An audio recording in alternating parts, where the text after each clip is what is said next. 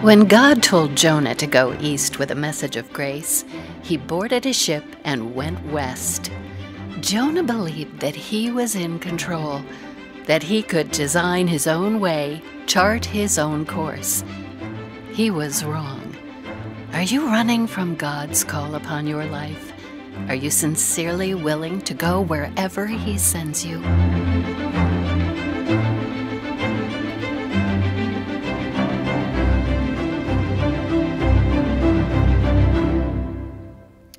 Well, good morning. If you brought a Bible, I want to invite you to turn to the book of Jonah, which is in the Old Testament, or you can take one of these before you and turn to page 753, or you can follow along on the screen.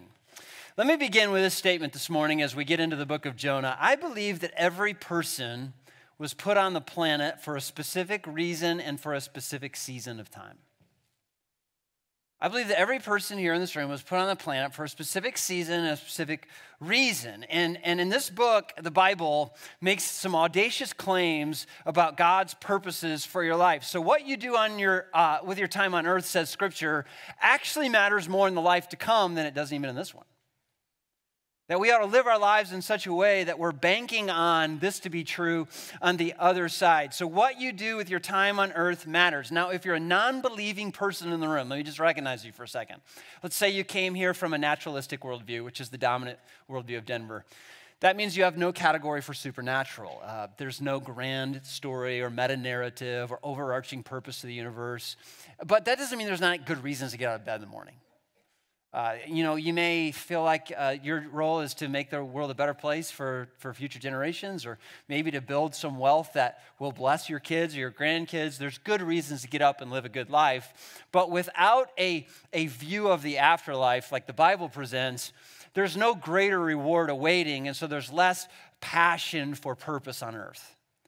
And so, one of the things I love about the worldview of Scripture is that it gives us a sense of purpose, that, that there's, there's a God out there that's not some ambiguous force, but a personal God that created us for a personal reason. And so, the question that this series is going to bring up, I want you to continue to, to ask yourself is this Will I have the courage to pursue my God given purpose? Want you ask yourself that question. Will I have the courage to pursue my God given purpose. To quote the old Steven Curtis song, Will you abandon it all for the sake of the call? That's a question that all of us have to answer. Now, we do get sidetracked from God's purposes fairly easily, don't we? If, if you, even if you've been walking with, with Christ maybe for a decade or two, you would certainly say there were seasons where you weren't walking in the will of God, where you chose to go your own way.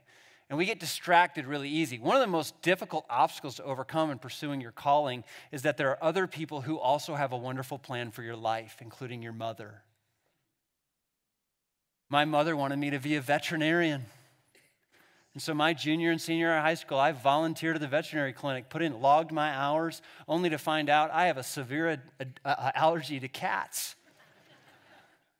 I almost said severe addiction to cats. That is not true. Um, in college, when I majored in biology, my, my uh, biology professor pushed me to go and be a marine biologist. But I, I had to tell him that I get really seasick on boats. And so there, there have been people along my way, just like your way, that have tried to assert their will for my life or say, this is what you should do. But here's how it happened for me. In the summer of 2000, I was working at a summer camp, and I was asked to speak to some sugared up seventh graders. Nobody else wanted the gig and so I was a camp counselor, and, and they, they asked me to do this 10 minute talk to middle school kids. And I went up there and I, and I gave a talk. And afterwards, the weirdest thing happened. Two or three people that I trust came up and said, That wasn't horrible. that was actually pretty good. You should do that more. And it was that summer that I began to really see, I was 23 years old, I think, I really began to begin to see and understand that God had made me to be a speaker. And that's just how he built me to be a communicator. And that was what I was gifted to do and called to do. The question that you have to answer, though, is what has God called you to do? What has he built you to do? Why did he put you on the planet, give you the gifts that you have, the experiences you've experienced? How does he want to use all that for something greater than you? Those are the big questions of the Christian life, and I think those are great questions. There was an Australian na- nurse named Bronnie Ware who would care for people in the last 12 weeks of their lives. She kept a careful record of the regrets that they would write down about their life. And the number one regret that she noted that people said about their life was this they said, I wish I'd had the courage to live a life true to myself and not the life that other people expected of me. There's a lot of wisdom in that. The thing that people said the most at the end of their life was, I wish I could go back and do it the way I felt called to do it, not the way someone else wanted me to do it. And when we get into this book of Jonah, that's really what's going on here. We got this guy named Jonah. God's given him a gift to speak. He's a prophet. He's doing a great job, by the way. The other books seem to suggest that Jonah was a highly respected prophet until God gives him this one assignment that he doesn't want to do. He just doesn't want to go. He doesn't want to fulfill his purpose. And so he tries to run away from God. And this book is essentially what happens when you do that. And so, chapter 1, verse 1 says this The word of the Lord came to Jonah, son of Amittai Go to the great city of Nineveh and preach against it, because its wickedness has come up before me. But Jonah ran away from the Lord and headed for Tarshish. He went down to Joppa, where he found a ship bound for the port and after paying the fare, he went aboard and sailed for Tarshish to flee from or to run away from the Lord. So notice the first line, chapter 1, verse 1. And the word of the Lord came to Jonah. This is a familiar statement in the Old Testament. A word arrives to a person and radically reorients their life. Uh, if you wanted to translate more modern terminology, you might read it like this. And then one day, God totally interrupted Jonah's life. And that's what happens with calling, by the way. Most often, calling is a massive interruption to your really good plan. And what God has, uh, has the power to do and the sovereignty to do is to step in at any moment in your life and redirect you and give you a calling. Jonah couldn't accept that and didn't want to accept that. Jonah thought he had, learned enough, had earned enough credibility with God that that was now optional. And so uh, he mishandles this moment. He fumbles the ball when God tells him to go. He, he mishandles the moment. Have you ever mishandled a moment? When you knew God was calling you to do something, but you just didn't do it. God called you to give some money, but you held it back. Uh, God called you to forgive, but you stayed bitter. God called you to slow down, and you just kept speeding up. Obedience does not come naturally to us. And the, the same principle of parenting applies to discipleship, which is delayed obedience is disobedience. And so we don't have uh, an option when God says to go to, to barter or negotiate. God called Jonah to go, and Jonah says, God, I hear you. You want me to go east? I've always seen myself as kind of a Western guy. And God says, I don't really care how you've seen yourself. I made you, and I made you to go east. And so he calls Jonah to go east. Jonah doesn't say, Let me pray about it. He just flat out says, I'm not doing it. I'm going the other way. Proverbs 16 9 is one of my favorite verses in the whole Bible. It says, In his heart, a man plans his course, but the Lord determines his steps. In other words, God is sovereign. He can step and do whatever he wants with your life. Jonah didn't like that verse, didn't believe in that verse. He changed it. This is the Jonah's version.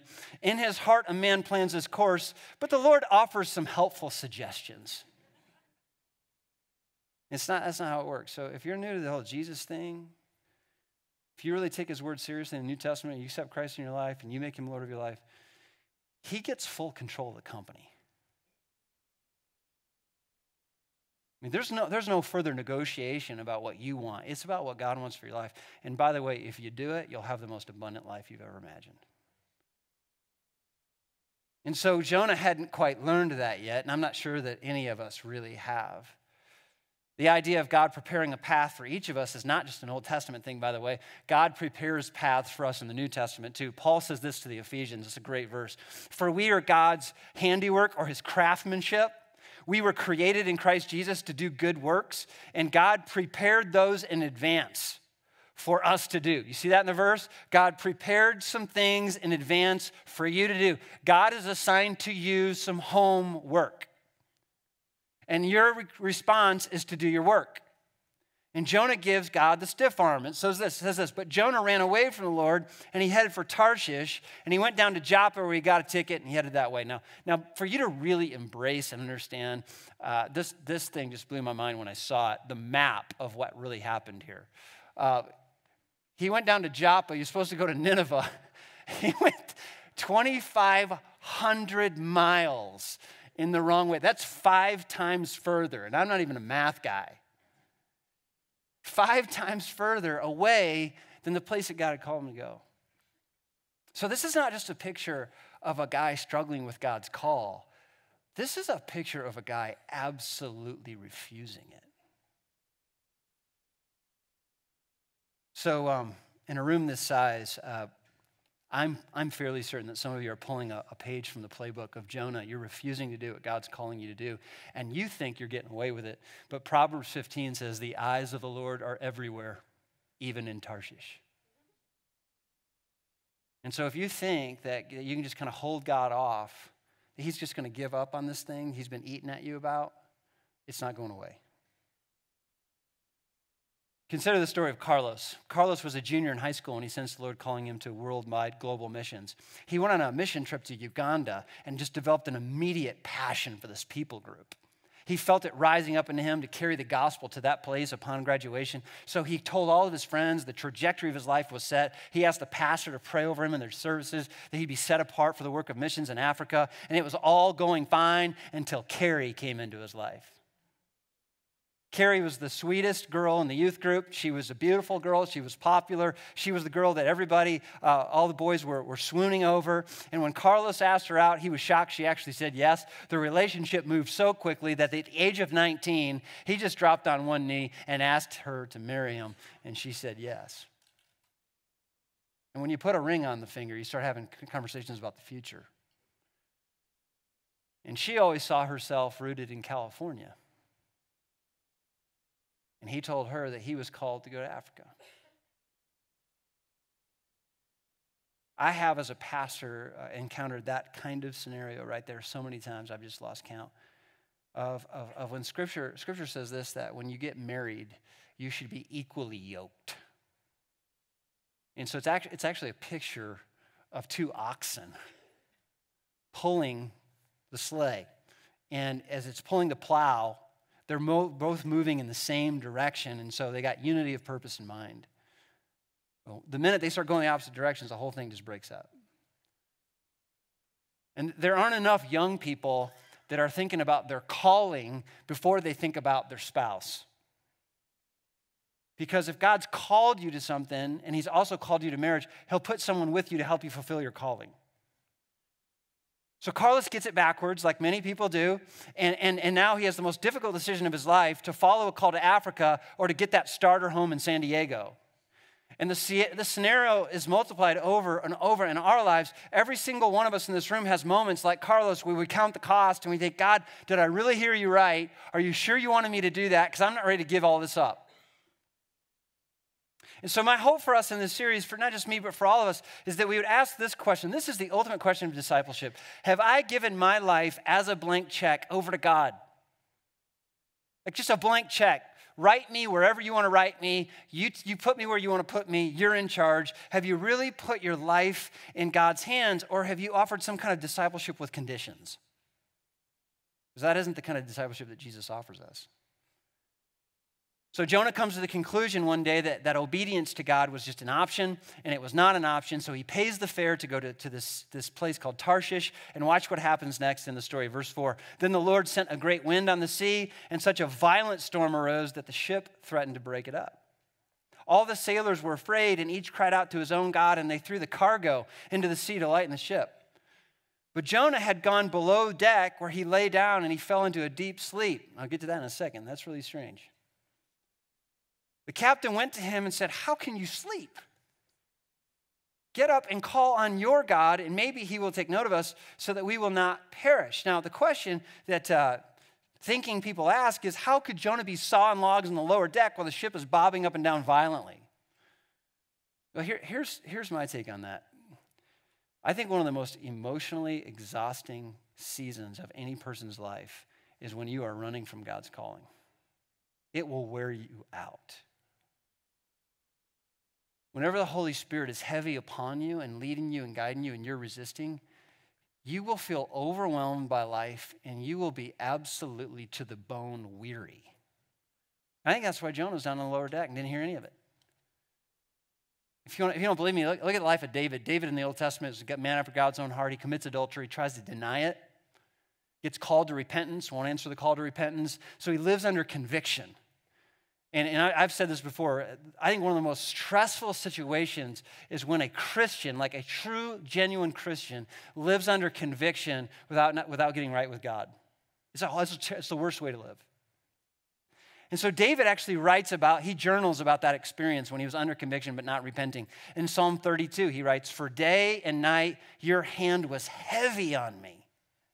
My strength was sapped as in the heat of summer. And then I acknowledged my sin to you and did not cover up my iniquity. And David talks about the sweet release of finally just agreeing with God about his sin. And Jonah would have a sweet release if he would just agree with God about his calling, but he won't. So these pagan sailors barge into the room and they say, Why are you sleeping when you should be praying? You will get plenty of sleep when you're dead, which is going to be soon. And then the sailors decide to do something that, that was really common back in those days. Uh, if you keep reading the story, they cast lots or rolled the dice to figure out who on the boat was guilty and why God was punishing them. And wouldn't you know it, Jonah's number came up. And so the sailors begin to get suspicious about who he is or what he's doing. He's got to be the mole. And it says this in verse 7 the lot fell on Jonah, and so they started interrogating him. They said, Tell us, who is responsible for making all this trouble for us? What kind of work are you in? Where are you coming from? What's your country? From what people are you? And Jonah gives them the worst news that they could possibly hear. He says, I'm a Hebrew, I worship the Lord, He's the God of heaven, and He made the water and the land. Now, this is, this is really bad news. Now, uh, putting yourself back in the context of the Old Testament, let me see if you, maybe you're new to the Bible, let me help you with this. Uh, way back in ancient times, people believed in local or regional deities. So, whenever you entered into a city, you just found out who the local God was who was in control, and you just placated him. Whatever the sacrifice was he wanted, you just went and offered that sacrifice. So you just kind of keep him fed so he wouldn't get hungry for you. And so uh, back in those days, people just worshiped all these different gods and they had local deities. And so they realized that Jonah is the one guilty and they say, So who's your God? And Jonah drops this bomb here. He says, I'm a Hebrew and I happen to make the, worship the God who made the entire sea. And their response to Jonah is actually quite hysterical in verse 10. This terrified them and they asked, What have you done? These roughneck sailors look at Jonah and said, What kind of idiot are you? You worship the God who made the water, and you think you can outsail him? He also made the land, by the way. What are you going to do when you arrive? And all these pagan, non religious sailors say, You need to get right with God. And what's interesting here is Jonah doesn't follow their advice. He doesn't go and get right with God. He doesn't address God. He doesn't speak to God in that moment. He just says, uh, Well, let, let me just help you guys out. In verse 12, why don't you just pick me up and throw me in? And it will become calm because this whole thing is my fault, this great storm that has come upon you. Shockingly, the sailors won't do it. There's a little good in every guy. And so they try to out paddle the storm and try to get out of the storm's way, and they can't. So, so what they do is they finally listen to Jonah and they toss him in the water. And this is how chapter one of this book ends. And then they took Jonah and they threw him overboard, and the raging sea grew calm. And at this, the men greatly feared the Lord. They, they became believers. And they offered a sacrifice to the Lord, and they made vows to him.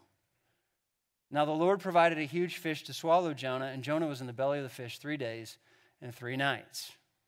Now, next week, we'll get to the miraculous component of the story because I know some of you find that hard to believe, and I can understand why. I'm going to talk through that next week.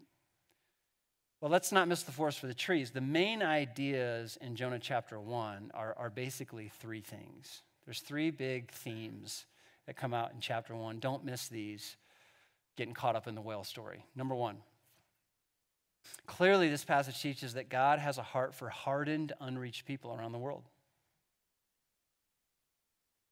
In order to understand this, you got to go back and understand Nineveh. Now, if you don't have uh, Old Testament context, Nineveh was the bane of existence for Israel. They, they were known as brutal, grisly, mean people toward foreigners.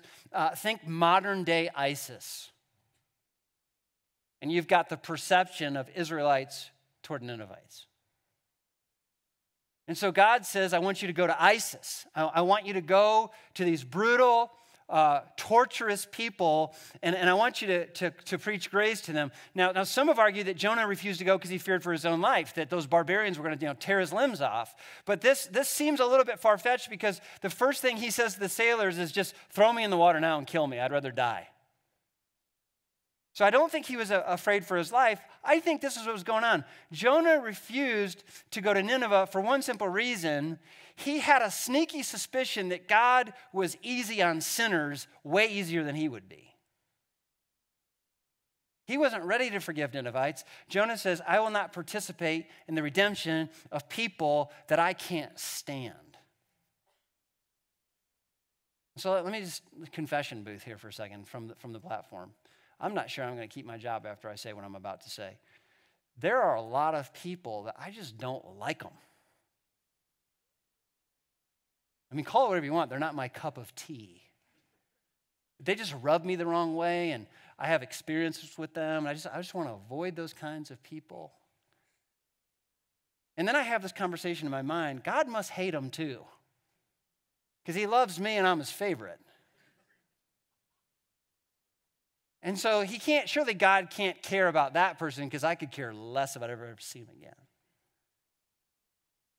And here's what Jonah had to learn, and here's what you and I have to continually learn is that God has a patience toward people that is far greater than yours. In fact, the New Testament word for patience is long dash suffering. So when people are patient with you, they suffer longer than they want to with you.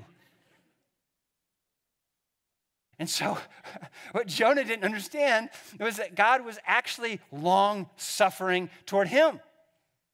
That he was filled with all kinds of pride and, and uh, self righteousness. And, and throughout the Bible, the issue of racism comes up all the time. It comes up here, and, and just prejudice. He prejudges people. And, and the Jews prided themselves, by the way, on being God's chosen people. They were apple of God's eye, and they were not interested in being a light to the Gentiles because God gave up on that.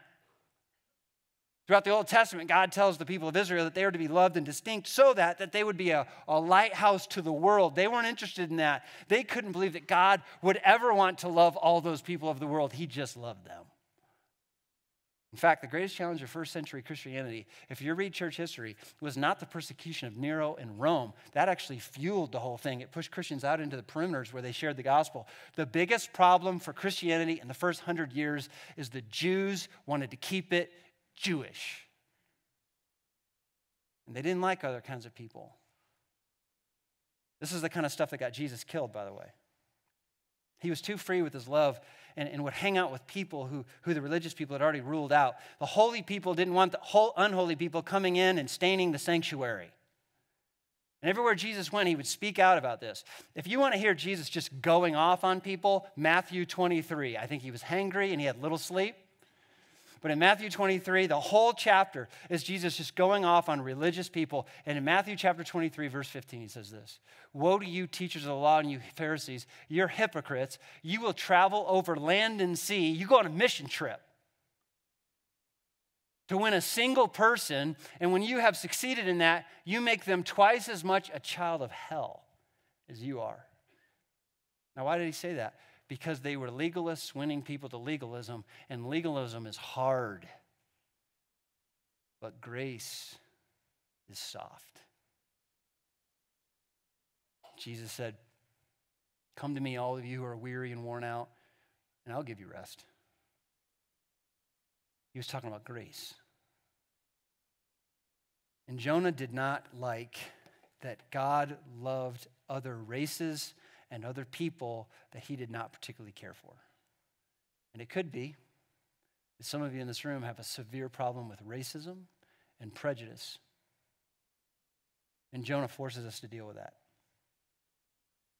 Second thing, God makes his will clear to us. That's, that's very obvious. Jonah gets a direct word from God. In verse 1, we don't know how he got the word from God. I wish we had a little more information. Doesn't say he got a burning bush like Moses, could have gotten that. Doesn't say a voice crashed through the clouds in heaven like Jesus got at his baptism. We aren't told how. We know that Jesus that Jonah received this message and there was no doubt about it. He knew exactly what God wanted him to do, go to Nineveh, and he didn't do it. And not only that, when Jonah ran away from God's plan, God was so good to make his life miserable. And he promises to do the same for you. Comforting thought. The Bible teaches very clearly, now this isn't in the Bible, but it's spoken throughout the scripture. God wants to lead you more than you want to follow. And one of the ways that he leads us is that when we get out of line, he makes our life difficult. And he makes it more difficult the more obvious it was. So Hebrews chapter 12 says this this is New Testament now. Endure difficulty or hard seasons as discipline. God is treating you as his children. For what children are not disciplined by their dad, their father? If you're not disciplined and everyone undergoes discipline, then you're not legitimate.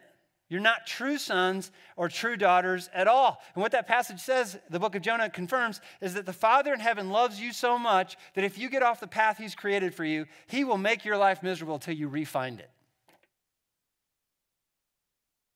There's a man in the Old Testament named Joshua, and he was a, he's a key figure in the Old Testament. If you read the Old Testament, he'll show up about the fifth book. And he has called to lead the Israelites into the promised land, the land that God had already prepared for them in advance. And once the people got into the promised land and had kind of secured the space, once they felt secure, they saw no need for God, which is what happens with all of us. Once we feel secure, we see less need for God. And so Joshua realizes that his people are drifting back into um, idolatry and kind of slipping away from their identity as God's chosen people. And so he just kind of puts his foot down in chapter 24 of Joshua. And he says this Now, if serving the Lord seems undesirable to you all, then choose for yourself this day whom you're going to serve. But as for me and for my household, we're going with God. We will serve the Lord. And that's spiritual leadership. That's a decision that every disciple of Jesus must make. When the road forks, I'm always going to go with God. God makes his, his plans clear to us. Number three, God does not give up on us even when we run away from him. Now, the mystery of the fish is significant, like I said, and I'll address that next week. But don't miss this main point God chooses to rescue a rebellious person. Now, I don't, I don't know if you've thought about this, but God has no problem writing books in the Bible that have one chapter. There are five books in the Bible that have one chapter. Jonah could have ended with one chapter. The last verses of chapter one very easily could have read, and Jonah couldn't swim, so he's dead. On to the next book. But the end of chapter one is, and God so loved rebellious people that he goes after them and saves them. Jonah is, in many ways, a typological figure of Jesus. He's a, he's a picture of what Jesus will be. Uh, the New Testament will say that there will come a man to the earth by miraculous means, and he will, by a cross, accomplish that which we couldn't accomplish ourselves. That God, when we were still stuck in our own sins and our own rebellion, he, in his great love and mercy, he came and died for us. And so, so Jonah gets the grace of God, which is what Jesus brings to us. He brings us grace, and so he doesn't give up on us even when we run. So let me just summarize it like this You might think you can run so far from God that you're outside of his grace, you never will. And so I'm just talking to somebody in this room, and I don't know who you are, but You've been running away from God for a very long time and you know it. And you think He's forgotten about you? He knows exactly where you are. The eyes of the Lord are everywhere, watching over the wicked and the good. And so God will always come and find us, even when we're running from Him. Those are three themes from Jonah. Now, with the time remaining, let me just kind of pull up three relevant questions I think people ask around this. Number one, would God ever call me to do something that violates Scripture? Because I've had people come to me and say, I believe this is God's will for my life, and I just show them chapter and verse why it's not. Would God, would God ever call you to do something? So let's go back to the Carlos story and Carrie. Let's say that Carlos went ahead and got married. He felt called to missions, but held that information until the other side of the wedding cake. And so uh, she did not sign up to be a missionary's wife. And Carlos says, Well, just come with me to Africa, and, and, or else I'm just going to walk away from the marriage. Would God bless Carlos's life and missions if he was walking away from his one flesh relationship with his wife? The answer that I've got for you is no. I don't think God will bless that. And here's why. I, I think God would not honor a decision that violates his word because God's always true to his word. And so, what should Carlos do if he's in that situation? This might be you. You feel like you're in a marriage that was a bait and switch. I think Carlos should pray. I think he should fast at lunchtime. I think he should ask the Lord to change his wife's heart so he can stay true to his calling. I think he should be torn up about it. I think he should ask Carrie to go on some short term missions trips without you know, being manipulated to do so. Uh, and if Carrie's heart doesn't turn to want to move to Africa, then Carlos should figure out ways to mobilize people to go and see the great people of Uganda that they might feel called to go and be missionaries there. I think there are ways for us always to honor God and pursue our calling without violating Scripture. So if you're here today and you're saying that God is calling you to do something, but there's a Bible verse that actually says you should never do that, then that's not lying to you. God doesn't call us to do things that violate Scripture. Question number two What should I do if I feel the call of God, but I'm afraid of what might happen if I actually do it? Here's what you should do you should join the club. I think every person, if they're honest, would rather live by sight than by faith.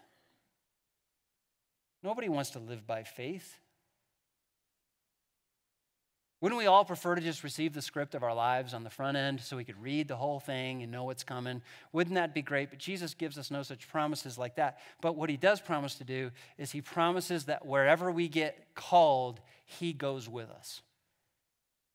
He will not leave us alone or he will never forsake us. So in Matthew 16, 25, he says this For whoever wants to save their life will lose their life, but whoever wants to lose their life for me will find it.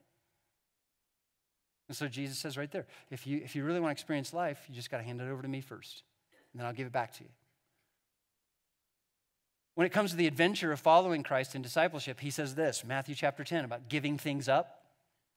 Truly, I tell you, no one who has left his home or his brothers or his sisters or his mother or his father or his children or their fields for me in the gospel will fail to receive a hundred times as much in the present age and in the age to come, which is eternal life. So, what does Jesus say? Whenever you're called to give something up in this life in order to follow his call, he promises to give it back with interest. So, it's just a matter of are you willing to step out and trust him? You know, there's a lot of different ways that I've seen people struggle with God's calling in their life. One of the ways that, that I've seen people struggle is, is with tithing. Uh, I've seen really godly people who, who love the church, who are give, happy to give up their time, but giving up 10% of their income is mind blowing. Because when you start talking about giving up money, you're really not talking about giving up money, you're talking about giving up control. And the reason people don't like sermons about tithing is because they, they don't like sermons about control because they like to keep it. And so whenever you, whenever you begin to study the New Testament, you study Jesus, what he's gonna, what he's gonna do to you, I'll just go and tell you up front, so it's not a surprise to you. He's gonna keep calling you outside of your comfort zone. He's gonna call you out to keep taking risks so that he can grow your faith, so that he can help you to live by faith and not by sight. But it's gonna take some dangerous seasons. And so, if you're afraid to follow the call of God, it's fine to feel afraid. Just don't let fear paralyze you from pursuing God's call in your life. Question number three Does following Christ mean leaving my home to go to another place of the world? Let's talk about this kind of global missions conversation. Now, sometimes we, we, we talk about global missions, and, and Western people like us, here's how we think about global missions we feel so sorry for people who have to go and live in other places that are less comfortable. That's just terrible. That they have to suffer in that way. Have you ever talked to any of those people? Because my experience with people who are genuinely called to a mission field is that they actually feel sorry for us. That we're, we get to continue to live with such comfort that we see so little need for God and we don't get to see the hand of God moving like He does in new territories. Like we live in occupied territory, they're taking new ground. And so, the first thing I would say is don't ever feel sorry for someone who feels called to global missions as if they got a raw end of the deal. If that's what God's calling them to do, there's nothing on the world that's going to make them happy here, and you should let them go. Now, on the other side of that, I don't think the call to global mission should be glamorized. I think that some of the hardest seasons of our lives are when God calls us to stay. When God is actually not calling us to leave, but to stick it out and to stay and to be faithful.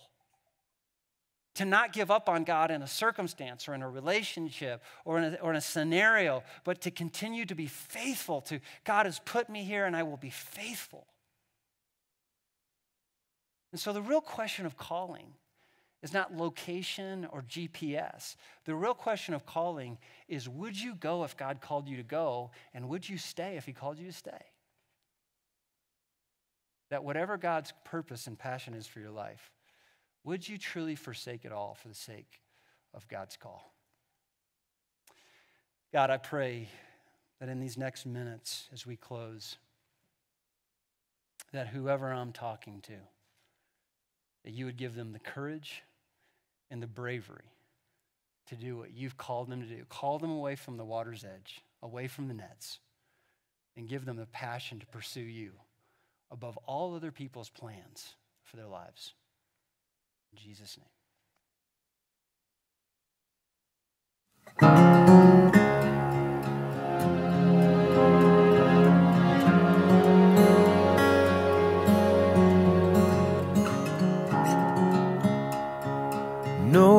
Nobody stood and applauded them. So they knew from the start this road would not lead to fame. All they really knew for sure was Jesus had called to them. He said, Come follow me, and they came reckless abandon they came. Empty nets lying there at the water's edge told a story that few could believe and none could explain. How some crazy fishermen agreed to go where Jesus led with no thought for what they would gain. For Jesus had called them by name,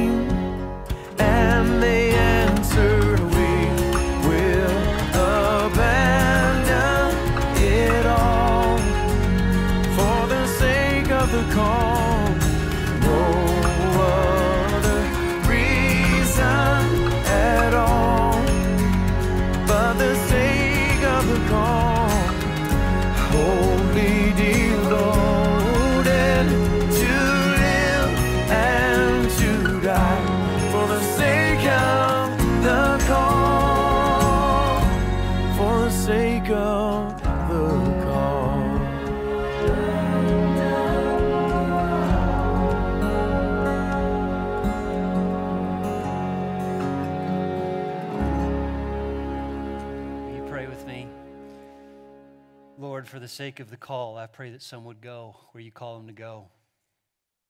For the sake of the call, I pray that some would stay where you call them to stay. Lord, at the end of our lives, the only thing that matters is that we served your purpose in our generation before we fell asleep. And so, Lord, I pray that, that if there's anybody in here resisting, God, your full control of their life, that they would surrender it right now. God, I pray if there's any person in this room that's been resisting salvation's call, to come and receive you as their Savior and put you in full control of their life, Lord, I pray that they would make that right right now. God, that they would call out to you. Maybe someone here that would say, Lord Jesus, come into my life. You have full control. I repent of my sins. I turn and face you and your plan for me.